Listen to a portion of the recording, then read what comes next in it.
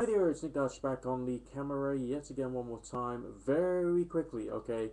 Google Plus is now open to everybody, and I'll just very quickly set myself up a Google Plus account.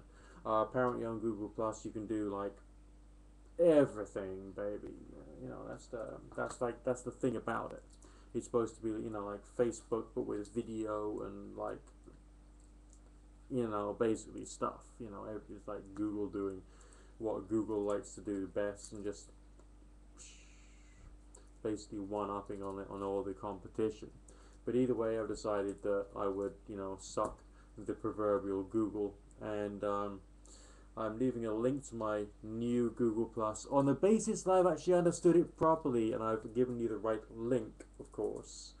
I'm giving you the link to my Google Plus in that kind of like area down there. Um, set yourself up a Google Plus if you haven't got one already, and then talk to and or play with my Google Plus as well, and we can put our Google Pluses together and we all be in circles and in a very sort of like non-sexual but very pally kind of a way.